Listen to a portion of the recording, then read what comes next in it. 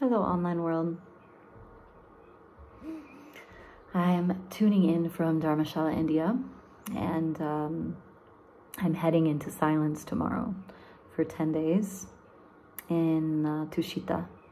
This is an ashram that has is near and dear to my heart, and um, and it is a Buddhist um, a Buddhist space. So there are teachings within the silence, and this one specifically is on the spiritual care for the dying. And, you know, I'm reading that not as just physical, but metaphysical, as I feel I have gone through so many death cycles in the last years. Uh, as I kind of peel back the layers and the onion of the traumatized body, like living in the traumatized body and what that means and and knowing that my trauma is no bigger than anyone else's, but that it is deeply affecting me. And although my brain in so many ways has figured out, quote unquote, um, the stories and how to come out of the loops and how to find resolution and to see the silver lining, the body hasn't caught up. You know, the implicit memory of the body is still very much feeling. And I feel like I'm in this duality of my mind and my body not completely being allies. It's not that they're not allies, but it's the mind is kind of like, hey, like, get over it, you know, let's move on. And the body being like, but I'm in pain. And India tests everyone. India tests me. You know, I, I can't speak for everyone actually, but it tests me. And I didn't know where exactly I was supposed to go after I left Japan. And I thought about it and I felt into it and I asked my body, like, where do you want to be? I asked my mind, where do you want to be? And they had some opposing, you know, conversations. Part of me, the mind was like, let's go to Bali, let's go surfing. And the body was like, I need rest, I need slowness, I need stillness. Let's go to India and sit at Tushita. And the mind is like, let's go hang out with our friends and do fun stuff. And I chose the unshiny path. I show I'm choosing to put myself in containment in a way to imprison myself. Um, something that Jung Carl Jung says, and uh, he speaks about prisoners being lucky in a way to be caught. Because when we are caught for our evil deeds and our sins, we begin the alchemical process of containment where the roles are switched and the perpetrator becomes the victim and begins to see how his deeds affect others and is given this opportunity for reinstatement in a healthier and more wholesome way. And I feel like I've consistently in the past few years imprisoned myself in this way of like creating opportunities for the alchemical process to completely obliterate me and bring me back. And I have been in so much pain lately. I am struggling. I am. It hasn't been easy. I'm not crying today. Maybe I will. I don't know. I'm not crying in this video. This could be, you know, me just falling to pieces online on the internet. And it's, I share everything else here. So I thought, why not share this process? But I've been struggling. I've been in pain. I have been in my pain. I have been in my sensitivity and what I want to call it now is my responsiveness to my environment. And I've been deeply affected by the world around me in a way that I haven't been before. These last three months have been some of the hardest months in the past three years. You know, I went through a huge alchemical process after a heartbreak three years ago that almost destroyed me. You know, it did destroy me in many aspects. It destroyed the aspects of me that were feeble minded, that needed integration. And it was one of the greatest gifts. And that process occurred again in this last three months as I went to even a deeper layer of my wounding and have been shown aspects of myself that need to be obliterated and that need to integrate. And I have isolated I've spent so much time alone. I have become a hermit and so comfortable with myself, which is beautiful, but there is a part of me that still desires like deep connection and love, like to be in relationship to other. And that's been challenging the past months and it's been coming in such beautiful ways, like such poetic, devotional um, waves of, of people offering just with big hearts their their hearts and their their love and and I realize how loved I am and how desired and how a part of the world I am. And yet the story in that I'm unlovable and that I'm somehow broken it still persists it's still there beneath the surface. And today I feel more centered and grounded but yesterday was so hard. I cried. I cried so much and I sat, I've been sitting in so much stillness and so much silence and I've been listening and I've been hearing my body's like cry for help and I'm tuning in to what it means to like really live in a traumatized body. You know, I think my mind has thought me out of trauma for the past years. I help others, I coach others through it. I'm leading courses and the only way I truly feel that that can be successful is by putting myself into these alchemical processes and letting myself be obliterated because the people that I help are being courageous and in some ways not even out of their own choice, but falling forward and being humbled. And of course, I have to as well, you know. And I'm being humbled right now. I'm being humbled at how much I hold, how much pain, how much anger, how much perfectionism I hold. And I saw a Ayurvedic doctor uh, yesterday and immediately like she it was like she knew me. She just saw me and she pulled my tongue out of my mouth and my tongue apparently was shaking and cracked and she said you have bad childhood. Lots of pain. You have lots of pain.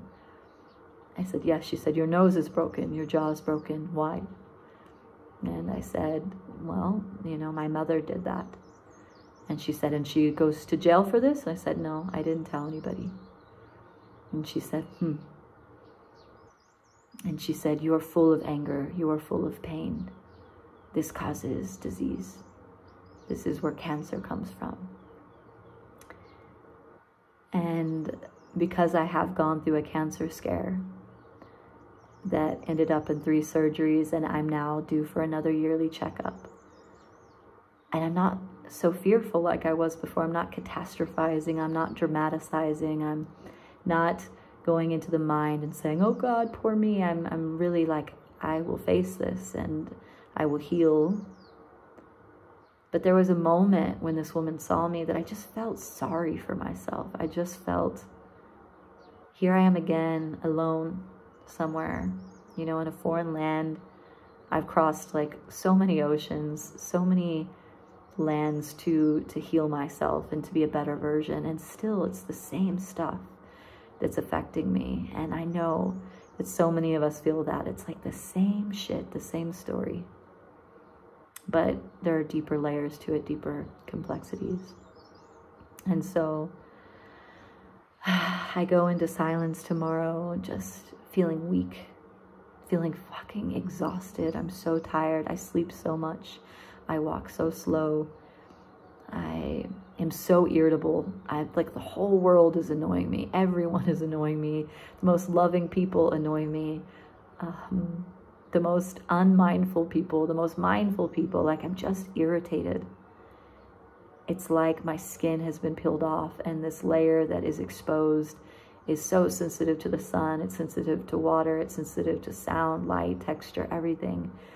And all of the body that has been dissociated and numb my whole life. A new layer is coming online of sensitivity and responsiveness to my environment that I'm not used to yet, and it can feel overwhelming at times. And it can feel like I just want to be alone. And I know that that's not true. I know that I want to be in connection, but that I also really need so much time alone. And so I'm sharing this to say, like, I'm struggling. I'm struggling. And it's not pretty. It's it's messy and it's uncomfortable and I spent a lot of time sitting in the dark, which happens in India because the power is out all the time. And since I've gotten here, all I wanted to was to be comfortable in some sense while I'm discomfort, like while I'm uncomfortable. And um, and immediately, like three days of no power, no heat, and I'm cold and it's dark and I'm alone in my room and I am just sitting with the feelings of like what's coming up inside and it's beautiful and I I too choose this. I choose this medicine of great discomfort, of messiness. And I told a friend, like, you know, I feel like a pig wallowing in mud. I feel flat and unshiny and uncomfortable and exhausted and and I fucking embrace it. Yeah, I embrace it. So there's no goal here. It's just a sharing of I'm fucking struggling. And I don't need anything but from anyone in sense except for just like love and it doesn't even need to be spoken to me, you know, just like feeling your energy, like giving me some love shocks. And um yeah, if you relate, I think so many of us are going through this right now. If you relate, I feel you. I feel you. And I'm so fucking highly sensitive right now, more than I have ever been. And I too love that about me. This new Echo that I'm becoming, I embrace her and I hold her.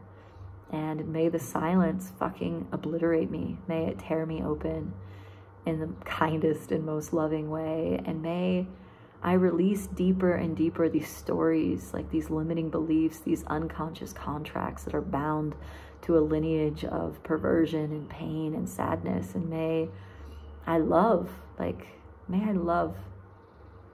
And, and something else that I read the other day that Jung said, you know, is like to really release ourselves um, from the pain of our stories of like perpetratorship we have to see ourselves in our monsters and our enemies and our perpetrators and not just say, oh, we're all one and I see you and I, I am you, but really say, I see myself in you.